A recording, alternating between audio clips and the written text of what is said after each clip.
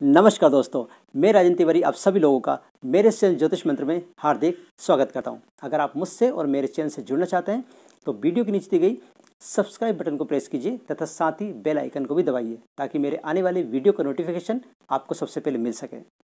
दुनिया में ऐसा कौन सा इंसान है जिसको अच्छा जीवन साथी नहीं चाहिए?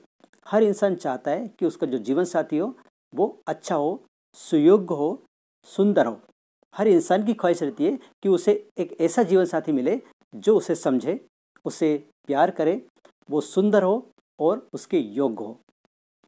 तो अगर आप भी चाहते हैं और आप भी अविवाहित हैं अभी तक और आप इस प्रकार का जीवन साथी ढूंढ रहे हैं, चाहे आप लड़के हो या लड़की हो तो आपको इस वीडियो को अवश्य देखना चाहिए।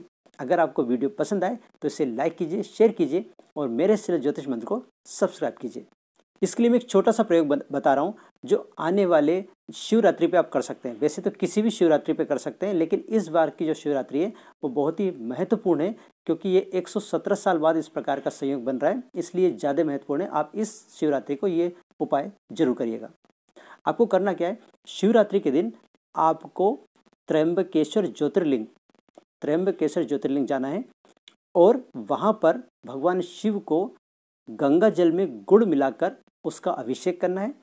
इसके बाद आपको नीले कलर के फूल, कनेर के फूल या किसी भी नीले कलर के फूल होना चाहिए।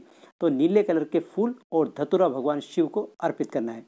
और साथ ही ओम अजयाय नमः मंत्र का 108 बार जाप करना है।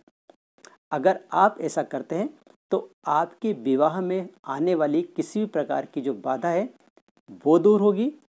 आपको एक सुयोग्य, सुंदर जीवन साथी मिलेगा और अगर आप विवाहित हैं तो आपके दाम्पत्य जीवन में मधुरता बढ़ेगी, सौहार्द बढ़ेगा और एक दूसरे के प्रति आदर सम्मान में भी बढ़ोतरी होगी। तो इस शिवरात्रि आप ये उपाय ज़रूर करें।